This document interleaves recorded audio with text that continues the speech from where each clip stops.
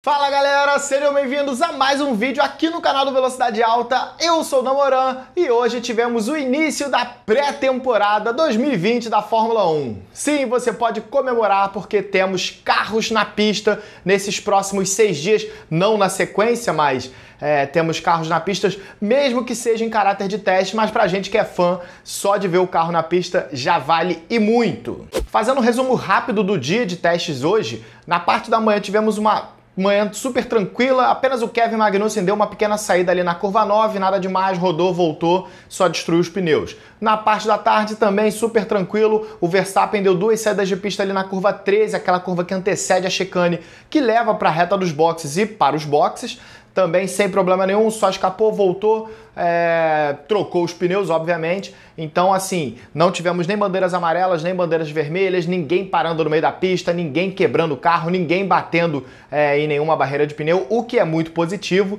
E se a gente pudesse definir esse primeiro dia de testes, a palavra, é, em uma palavra, a palavra seria confiabilidade. Para você ter uma ideia, na pré-temporada de 2019, no dia que a Williams andou mais, ela conseguiu dar apenas 88 voltas. Hoje, no primeiro dia de testes de 2020, a Williams já marcou 136 voltas, mostrando que o carro é mais confiável. Ainda tivemos aí as equipes Mercedes, Red Bull, McLaren, Ferrari, Williams e Alfa Romeo conseguindo completar o suficiente de voltas de dois GPs da Espanha, né, que possuem 66 voltas, dois GPs seriam pelo menos 132 voltas. Todas essas equipes andaram mais do que isso. A Ferrari, por sinal, andou exatamente 132 voltas, ou seja, exatamente a distância de dois GPs da Espanha. Se foi proposital ou coincidência, jamais saberemos. Só que isso mostra que as equipes têm uma base bem desenvolvida dos carros. Como o, o, regulamento não mudou, as equipes estão usando a base do carro do ano passado com as devidas modificações e evoluções é, é, visando aí melhorar cada vez mais. Então, como é, essa base já possui uma temporada na bagagem, a gente vai ver uma pré-temporada com carros muito mais confiáveis. Até porque também temos menos dias de testes de pré-temporada. Ano passado a gente tinha oito, dessa vez temos seis. Então, é, as equipes vão tentar andar bastante, ninguém vai querer ficar desperdiçando tempo de pista, porque sabe que é muito importante nesse ano que o, o, o tempo de pista está bem restrito. Agora, Pérez, Stroll, Sainz, Kubica, Russell e Latifi chegaram a utilizar pneus macios. Eles não, não marcaram as melhores voltas do dia com esse pneu. Tá aí na tela para vocês verem o, o melhor tempo de cada piloto no dia e qual pneu cada um utilizou. Ou seja, nenhum deles é, é, marcou o melhor tempo com o pneu macio provavelmente utilizaram apenas para coletar dados e não buscando a volta mais rápida, e o restante do grid focou mais nos pneus médios e duros. Agora, a grande surpresa do dia foi a ausência de Sebastian Vettel, que ele originalmente estava é, no programa da equipe Ferrari para andar o dia inteiro hoje, e o Leclerc andaria o dia inteiro na, na sexta-feira. Amanhã, no segundo dia, eles iriam revezar. Um ia andar na parte da manhã, outro na parte da tarde. Segundo o comunicado da oficial da Ferrari, o Vettel teve uma indisposição e retornou para o hotel para justamente se recuperar para estar disposto amanhã. Então resta saber se amanhã teremos Vettel na pista, mesmo que dividindo aí as ações com o Leclerc, ou agora já não se sabe se a Ferrari vai mudar o programa, se o Vettel tiver disposto, se ele vai ficar o dia inteiro amanhã na pista. Isso a gente só vai descobrir efetivamente amanhã, mas a gente torce aí para uma pronta recuperação de Sebastian Vettel, porque é muito ruim o piloto perder tempo de pista, ainda mais aí é, é o Vettel e a Ferrari, que nos últimos anos aí tem, tem necessitado cada vez mais de tempo de pista, desenvolvimento para poder é, estarem cada vez mais em melhor forma forma. E uma última curiosidade foi de que na, nas três primeiras posições na tabela tivemos aí três motores Mercedes. É, isso não significa nada, mas é curioso ver que Hamilton, Bottas e o Pérez eles é, estiveram aí nas três primeiras posições utilizando o motor Mercedes. Para aqueles que não viram o vídeo que eu fiz esses dias,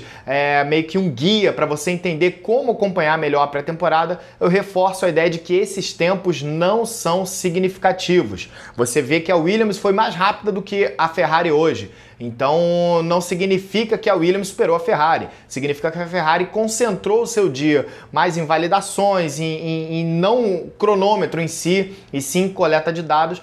Então, para vocês ficarem tranquilos e não se apegarem à tabela de tempos, ver o, o Pérez na terceira posição significa que a, a, Racing Point agora é a segunda força? Não. Apesar do carro da Racing Point a gente ter visto aí é, é, ele de fato na pista, né? O carro real, ele é uma cópia do, do modelo W10 da Mercedes de 2019, né? Eles utilizaram toda a base do carro E vamos ver como é que esse carro se sai aí na, na temporada, né?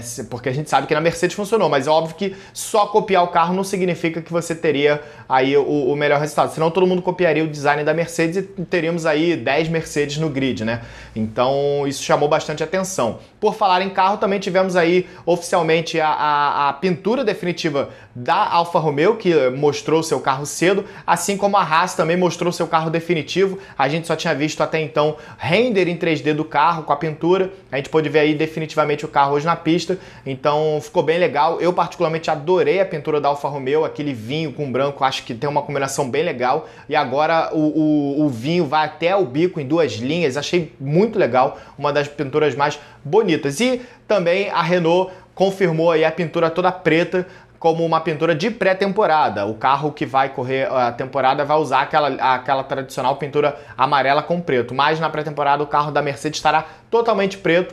É, eu particularmente achei feio, muita gente gostou, enfim. Isso eu quero saber de você, a sua, a sua opinião aí nos comentários. Deixa para mim o que você achou é, dos carros beleza, é, enfim, outras coisas que você tenha reparado, que você tenha gostado no dia de hoje, o fato de ninguém ter quebrado, enfim, deixa para mim a sua opinião. Lembrando que teremos aí nessa semana mais dois dias, quinta e sexta. Nós estaremos cobrindo em todas as redes sociais. Se você não segue Velocidade Alta, segue lá no Twitter, Facebook Instagram, que a gente faz várias postagens ao longo do dia para deixar você bem informado. No Twitter, então, a gente faz um tempo real, bem bacana. Quem acompanhou hoje sabe do que eu tô falando. Então, segue a gente aqui, deixa o like nesse vídeo, se inscreve no canal e ativa o sininho das notificações para você não perder nenhum dos nossos conteúdos. Eu vou ficando por aqui, aquele abraço, valeu, fui!